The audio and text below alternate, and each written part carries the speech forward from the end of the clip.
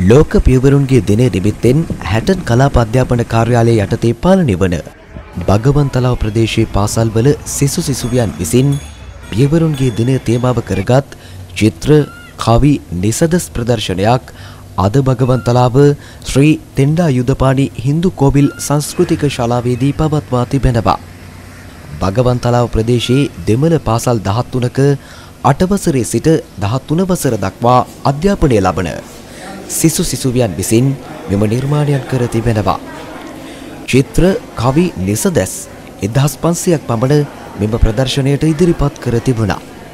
හැටන් කලාපාධ්‍යාපන කාර්යාලය මගින් සංවිධානය කර තිබූ මෙම ප්‍රදර්ශනයේදී පියවරුන්ගේ දිනය තේමාව කරගත් හොඳම නිර්මාණය ඉදිරිපත් කරන ලද සිසුවා සහ සිසුවිය තෝරා ගැනීමට එම ප්‍රදර්ශනය සංවිධානය කළ හැටන් කලාපාධ්‍යාපන කාර්යාලය නිලධාරීන් කටයුතු කරනු ලැබුවා.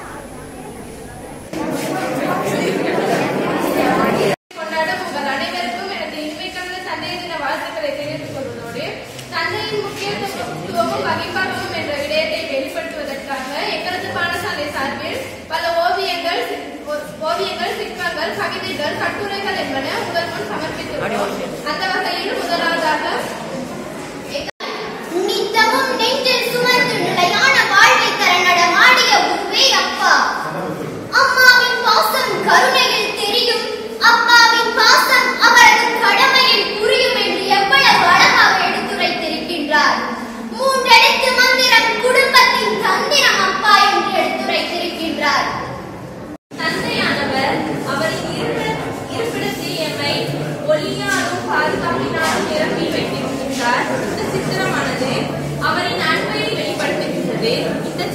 சித்திரமானது அஹ், தந்தையானவர் எம்மை கல்வி பயிர்வதற்கு எமக்கு ஒரு வீட்டையும் வெளிச்சத்தையும் அளிக்கின்றார் அந்த வீட்டில் அந்த வெளிச்சம் இல்லாவிட்டால் அவர் வெளிச்சத்தில் எவ்வாறு காண்பிக்கிறார் என்ற ஒரு சிறப்பான செய்தியை கூறுகிறது வெற்றிதாலே கீழப்பட்டிருந்தாலும் கூட அந்த மன எண்ணங்கள் மனக்கணிவும் மிக சிறப்பாக வருகின்றன அதே போல இங்கே காணப்படும் இந்த ஓய்வானது இதே கொண்டு இருக்கும் அந்த தந்தை தனது